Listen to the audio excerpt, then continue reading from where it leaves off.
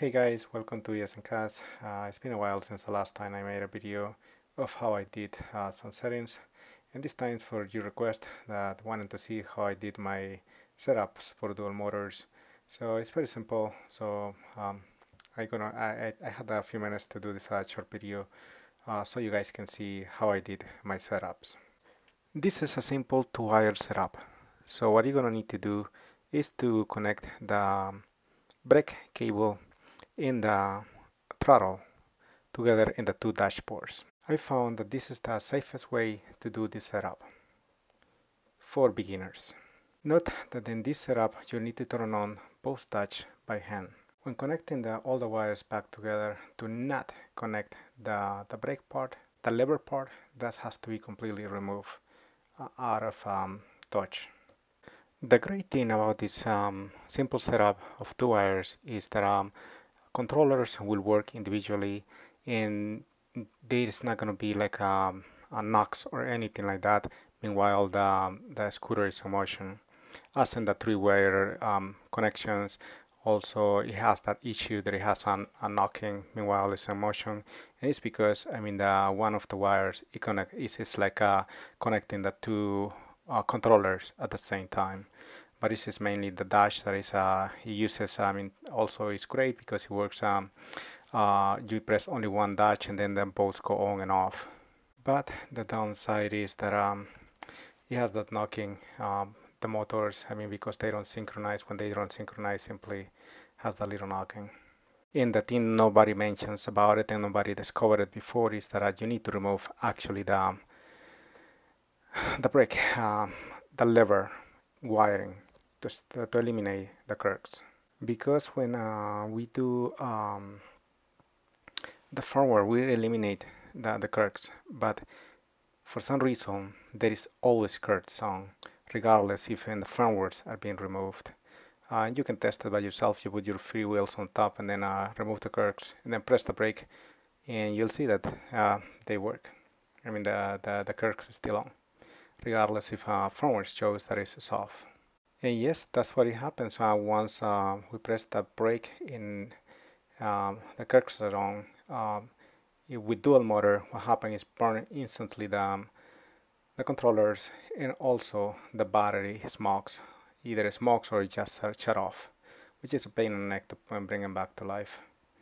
And as a reminder, again, this uh, because you do all the settings, uh, you have to use disc brakes in your in both in both wheels so that part is very important for safety because you know once we put two motors to, to the scooter the scooter will go faster even though if you only are on 36V and you are using uh, G2 motors.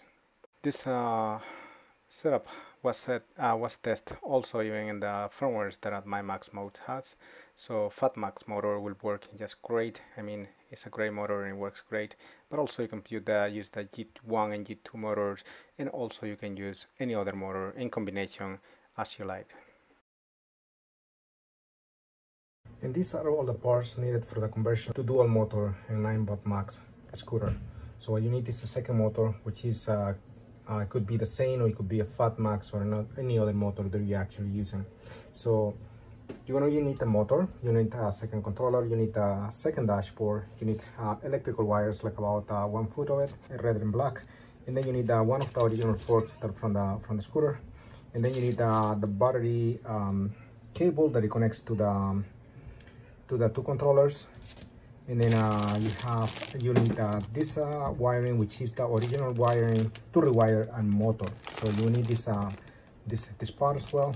And then you need the wire that connects the control board to the dashboard from motor. So what you're going to do is uh, cut off this uh, these wires one at a time cut them off from here. And then you're going to do the same with this one. You're going to open this covering and peel off one wire at a time cut them off so what's going to happen here, as we can see, this is how the extension wire comes in.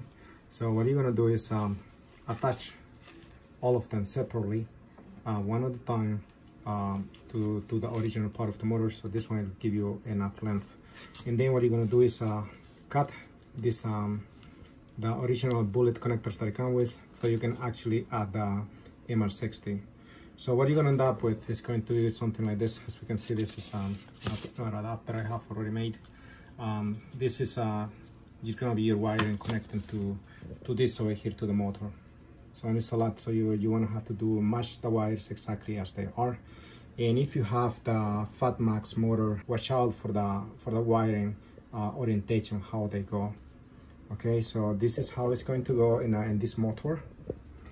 And and then what you're gonna do is I put another MR60 in our end. This one you don't need to add anything else more than like it comes. It's a it's um original wire from the from the motor, so this will go just straight black and plate. But this one you're gonna have to add the MR60 connector. And here we have the controller part. So as we can see, I mean uh, this is the wire that I was talking about earlier, and this is the one that uh, the male part is gonna go to the battery, which is the female part, and then uh, it comes with a two female parts. One that will go to the main controller, which is the shorter one, and the second port, which is going to be the lens that you will need for the second controller that it reach all the way outside the scooter. So what's going to happen here, you connect uh, one, one female to, to the male of the controller, and then you connect the second female to the male of the second controller. Making sure that this is connected right too and there's no way to miss it because again it says only one male part and two female parts. How to connect the control board to the rest of the system? So first you're going to connect to your motor to the mr60 connection and then you're going to get your wire from the uh, motor to the, which is the hall sensor which is going to connect right there. And then uh, you're going to connect um, with uh, this one this um, wiring which is the one that goes to the dashboard this one connect right here to that port. So mainly what you're going to be connecting only in, the, in this part is going to be the, the, the, the motor and the dashboard nothing else. That's all you connect to it. And then once it's all connected and all hooked up uh, you're going to come back and connect your power to your controller. In this part i'm going to tell you a little bit how to do this. As we can see this fits over here. So what you're going to do is you know cut it off inside fully leaving empty hollow inside there and then uh, you're gonna make a cut over here and others. It's a simple thing to do. I mean, uh, you don't have to. I mean, uh, if you don't have the way to do to get a print, simply get this done.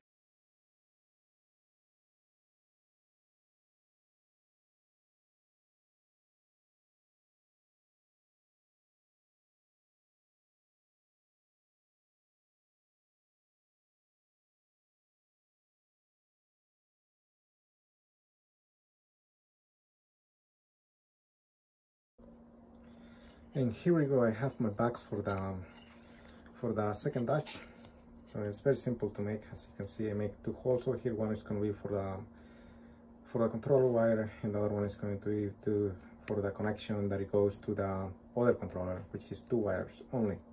So that's going to be the button and that's going to be fit. What I'm going to do is uh, put it right here with this uh, rubber. And it's going to be high glued hot glued in and properly sealed so it will be uh, waterproof.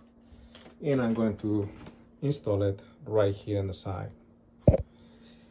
So it's going to be done this way. And as we can see I have the two wires over here the black and the red. As I as I said previously the red wire is going to be the, the throttle and the black wire is the brake. I did a red wire for um, for throttle black wire for the brake. So in this case I'm going to be connecting the black wire to the blue which is data and then I'm going to be connecting the the red to the green connection over here but not this one it's going to be the ones I already have built. So and I'm gonna seal it and that's gonna be all. As we can see I had glued it already. As you can see it's coming out a little bit on the which is perfect. That's what I want. For my button it's too deep. I make a little part extra right there. That's it. A little piece of tape on the top. The last part to complete this setup plastic that goes on the cover the screen. So now as we can see this thing is completely set. You can hardly tell that is a fork turn it into a housing for the Dutch.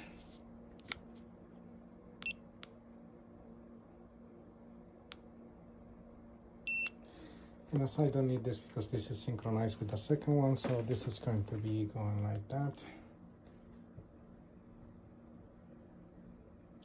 Because uh, whatever numbers I'm gonna uh, see here, I'm gonna see them right here, which I don't need really because I mean these um, uh, readers are not really accurate. Simply uh, on and off switch, that's all I need. And you too, that's all you're gonna need. On and off, on and off switch, and also a light. That's it. In this part, we're going to pretend that this is the main dashboard.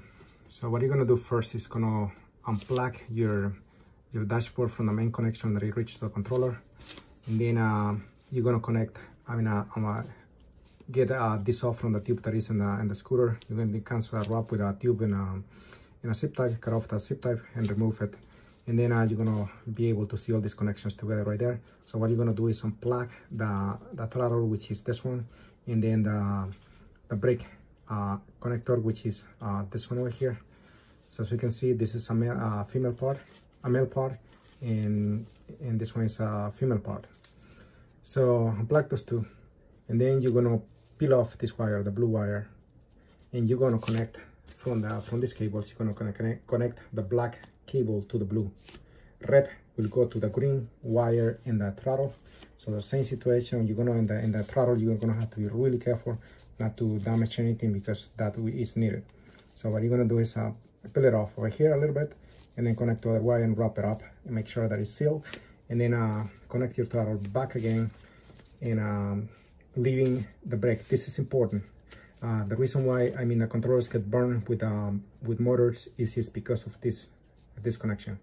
So well, you're not going to connect the brake anymore. And that why did I say that you need a disc brake and, uh, and, and these motors?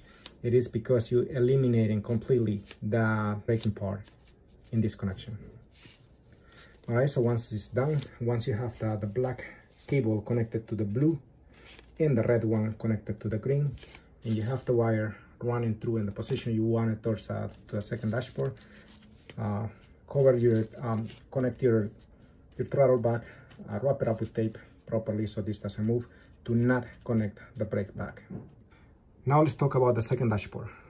What you're gonna do is once you get it, uh, all you're gonna need from this dashboard is gonna be the blue wire and the green wire.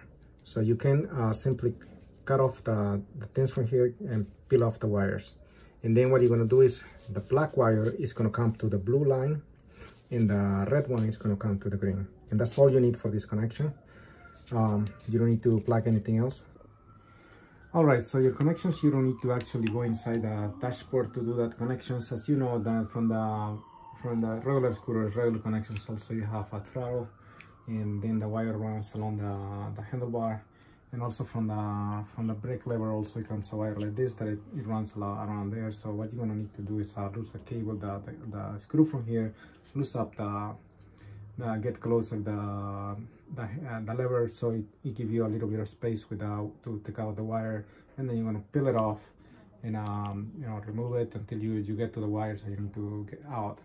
As you can see over here I mean uh, as this one and this one over here I have this uh, this lever I mean these two wires are cut off so we can see that that is um, my connection over here from the from the lever and that was cut off so what I did is uh, simply uh, get the yellow wire over here that I have, which is an additional connection already.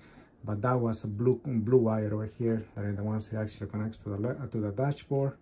So I got this one here, and that's the one that connects to the dashboard, and it goes to the second dash over here, as you can see. As we can see over here, I have the uh, my connections. Black is for for the brake, and red is for the for the throttle. As you can see, this is a throttle and it's connected. The red is connected to, to a red uh, to a wire over here, which is the, the yellow as well. And you know, I have a bunch of uh, messed up wires over here, but uh, I know which ones are and what's the positive, what's the negative, and what's the data cable. So in this one, I just did that connection. As we can see, it goes right here. There's a throttle right here, there's a throttle part, and it goes inside, and then uh, pops out here, and then it connects to the to the red wire over here and that's all I need. I mean, uh, you don't need to actually get into the dashboard in order to, to do these connections. You actually can do them outside without having to touch inside there.